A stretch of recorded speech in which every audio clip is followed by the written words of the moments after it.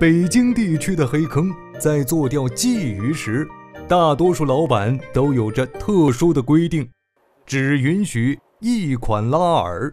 这在钓友中间也慢慢成为了一种约定俗成的习惯。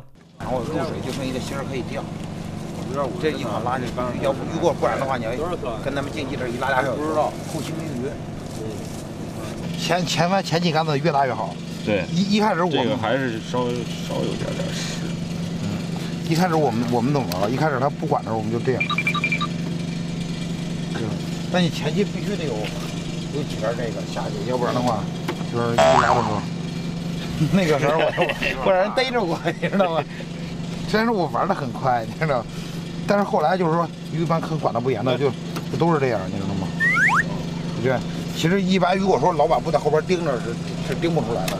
这样你下去以后，黑坑的小脏招。对，我从来不来南城玩，来南城这边这一片坑我从来不玩。